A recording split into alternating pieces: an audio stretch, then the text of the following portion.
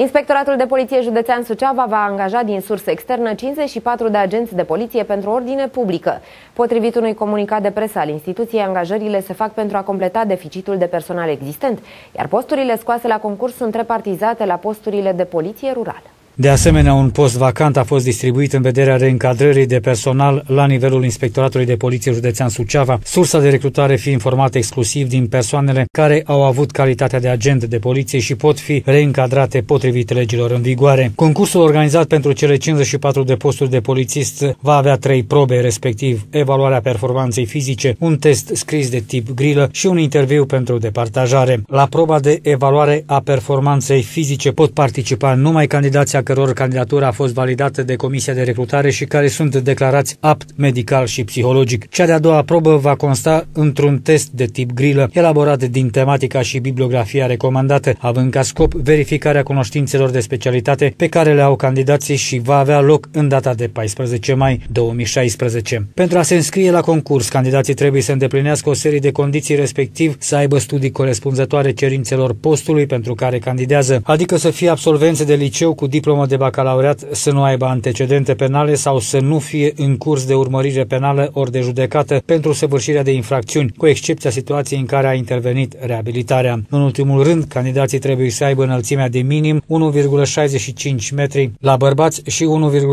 1,60 metri la femei. Înscrierea candidaților se va face la sediul Inspectoratului de Poliție Județean, situat în municipiul Suceava, Bulevardul 1 Mai numărul 9, în baza unei cereri de înscriere care poate fi depusă până la data de 8 aprilie aprilie 2016, în zile lucrătoare între orele 9 și 15. Toate informațiile și documentele necesare pentru a participa la concurs vor fi furnizate la sediul IPJ Suceava în momentul înscrierii. Candidații care au depus cererile de înscriere până la această dată vor depune dosarele de recrutare complete până la data de 15 aprilie 2016 în zile lucrătoare între orele